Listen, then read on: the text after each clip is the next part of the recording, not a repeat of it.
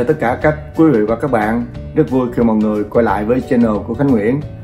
Và cũng cho Khánh Nguyễn và Đức Vũ thay mặt team Gửi lời tri ân và cảm ơn đến tất cả mọi người. Chúc mọi người luôn vui vẻ và hạnh phúc. Hôm nay Khánh Nguyễn sẽ có một cái tiêu đề Để mà nói về à, những điều thích hay là không thích Khi mà người thợ neo làm cho Mỹ đen. Thích thì như thế nào mà thích Và không thích thì như thế nào? Đây cũng chỉ là một cái quan điểm riêng của Khánh Nguyễn vì à, mình cũng đã làm nail được à, gần 10 năm. Mình có những điều chia sẻ tới tất cả mọi người. Mời các bạn theo dõi video. Thì trong gia đình của mình là chị hai cũng làm nghề nail, rồi cũng có à, mấy đứa em em gái cũng làm nghề nail, và em rể, và em dâu cũng làm nghề nail. Và bạn bè mình thì làm nghề nail cũng nhiều. Thì mình nói chuyện với lại những người trong gia đình và những người bạn của mình. Thì à, mình biết á đầu tiên á là mình xin chia sẻ về thích thì tại sao lại thích làm cho mỹ đen. Như các bạn đã biết á là nghề neo này nó có khi mình đi làm á thì mình lãnh lương theo chia ra làm hai loại. Đầu tiên là những người thợ giỏi thường á là người ta làm ăn chia. Ví dụ như là ở bên Mỹ á, thì là ăn chia 60 40 thí dụ là các bạn làm được một à, trăm đồng thì các bạn chia 64 gọi là 64 đó các bạn. Thì à, thợ được à, 60 đồng chủ là 40 đồng. Mà thường đa số những người thợ giỏi á, thì người ta chọn theo cách ăn chia để nhiều khi một ngày người ta làm được nhiều tiền thì à, người ta chia theo tỷ lệ 64 thì tiền tiền lương sẽ được nhiều. Còn có những chỗ thì là làm theo cách chia thứ gì là lương bao ví dụ bây giờ tính theo tay nghề của các bạn à, nếu các bạn à, tay nghề giỏi mình nói chuyện thí dụ ha à, thợ giỏi thì lãnh là một trăm hai trăm ba trăm tư một ngày rồi nhân cho 6 ngày. À, thợ à, trung bình thì ví dụ như là ít hơn chút xíu trăm hay là trăm mốt. Rồi là làm thợ chân tay nước thì ít hơn chút nữa thí dụ là vậy đó. Thì có hai loại để mà à, khi mình đi làm mình à, tính với chủ là một là lương bao hai là à, ăn chia và lương bao. Thì đa số những người thợ giỏi á, như ở nhà mình có à, đứa em gái và những người bạn của mình thì là rất thích làm cho mỹ đen. Và nhất rất thích làm những cái vùng mà mỹ đen. Thứ nhất thì à, theo em mình và những người bạn mình chia sẻ vì sao thích làm cho mỹ đen? Bởi vì mỹ đen rất thích xài tiền các bạn cái gì mà xài tiền cho chính họ đó thì họ rất là thích. Như ờ, họ rất thích nhiều thứ, nhưng mà ở đây mình chỉ nói làm nail thôi. Thí dụ như mà khi vô làm trong tiệm nail thì ờ, nó có những cái để làm như là làm móng móng giả thì họ rất thích là làm móng tay dài. Tay dài thì ờ, nhiều tiền hơn một chút móng ngắn, móng dài. Rồi họ thích vẽ trên móng, rồi họ thích đính những cái hộp giống như hộp soạn giả đó các bạn, ở trên ngón trên ngón tay họ rất muốn cái bàn tay họ đẹp nên họ xài rất là nhiều tiền. Ví dụ như bình thường á một à, một à, bộ móng bột là mình nói thí dụ như 25 đồng nhưng mà thường là, là người ta những người mỹ đen thì thích làm dài hơn thì tiền phải nhiều hơn. Rồi vẽ rồi đính hộp trên à, móng tay rồi sau đó thì họ còn gắn lông mi giả rồi họ nhổ eyebrow. Nên khi một người á vô á, mà đi ra là các bạn làm xong á thì à, những đứa em mình và những người bạn á, kiếm rất là nhiều tiền từ một người. Có nhiều người người ta dám xài bảy tám chục đồng trong một lần. Hai tuần người ta quay lại người ta dám xài là bảy tám chục đồng. Thì nếu một người một ngày á các bạn làm một người khách á mà đã được bảy tám chục rồi mà nếu mà trong ngày cộng lại nữa thì cái tiền là rất là nhiều. Rồi nên mà chia ra đó chia ra trong một ngày á thì những người à, như em mình và những người bạn thích làm cho mỹ đen và cho cho những khu ở mỹ đen, bởi vì mỹ đen rất thích xài tiền. Thì khi mình đi làm, cái tiền mình sẽ được rất là nhiều. Đó là một cái lý do chính là những người mà làm ăn chia thợ giỏi thì thích làm cho mỹ đen. Còn những người khác thì đa số đa số là lý do thứ hai là không thích làm cho mỹ đen. Lý do tại sao? Thích thì nó chỉ có một hoặc hai, nhưng mà không thích thì rất là nhiều. Cái lý do đầu tiên mà không thích á là khi mà mỹ đen vô tiệm làm đó các bạn, nó câu giờ dữ lắm.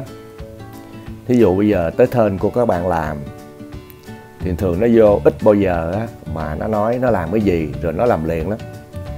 Nó có tay á thì nó để cái điện thoại trên đây, rồi nó đi tới, đi lui, đi tới, đi lui, nó chọn nước sơn, có nhiều khi cả 15 20 phút, nửa tiếng đồng hồ.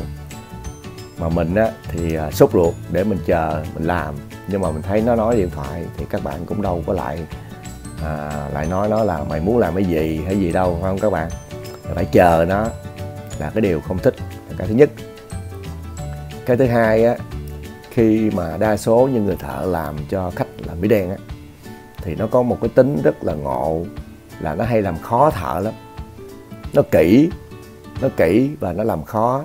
Nhất là khi à, nó biết những người thợ nào mà mới á các bạn. Nó vô nó ngồi nói chuyện nó nhìn cái cách làm của mình á mà nó biết mình là thợ mới á thì nó hay vặn vẹo mình lắm.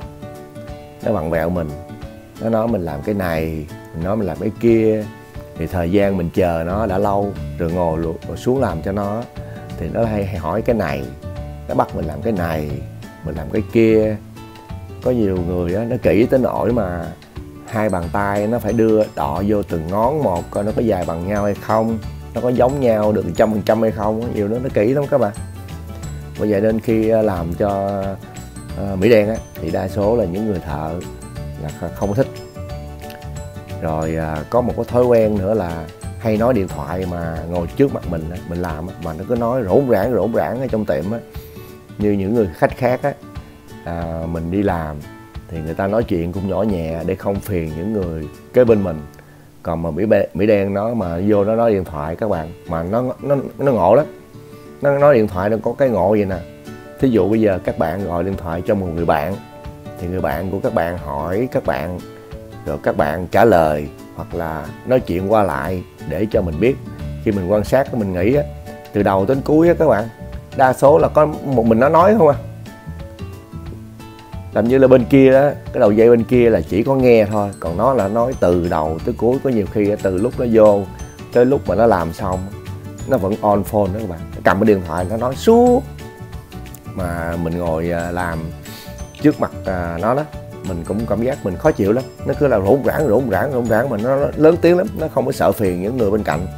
Nhưng mà nếu á, mà nó đi vô tiệm á, mà người khác á, mà nói chuyện mà lớn tiếng á, là nó quay qua nó lườm liền, nó lườm liền á các bạn. Ý nó nói là không có lịch sự không vô tiệm mà là nói chuyện điện thoại mà lớn, nhưng mà đối với nó thì là nó không có, không không có khe đối với nó là nó không có khe còn người ta mà làm giống nó đó, là nó có nhìn ta, nó lướt liếc, nó lườm liếc, nó lườm ngộ lắm các bạn. Còn có nhiều à, khách bể đen các bạn biết không? Đi vô làm, quậy thợ xong, có vẻ không hài lòng đó các bạn. Nó muốn nó được bớt giá đó. Nó muốn à, không trả tiền là nó tìm cách nó làm khó nó đưa từ ngón tay lên, nó nói, có vẻ như nó không hài lòng đó mà có vẻ nó không hài lòng. Đưa hai ngón cái đo với nhau, ngón kế đo với nhau, ngón trỏ, ngón giữa. Rồi khi các bạn sơn cho nó cũng vậy nữa. Có nhiều khi mình sơn cho nó 10 ngón xong rồi các bạn. Mà như khi cái ngón tay nó đã dài rồi, mình sơn đã cực rồi. Mà mình khi mà sơn xong rồi, nó nhìn nó nó nó không vừa ý. Nó nói cái màu sơn này lên tay nó nó nhìn nó không vừa ý là nó bắt các bạn phải chùi ra sơn lại.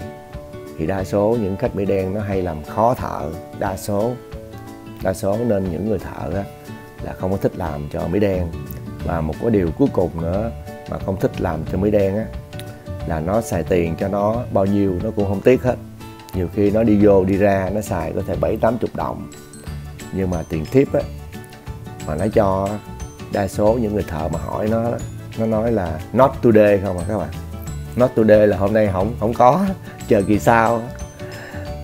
Bởi vậy nên ờ, đa số những người thợ là không thích làm cho mỹ đen.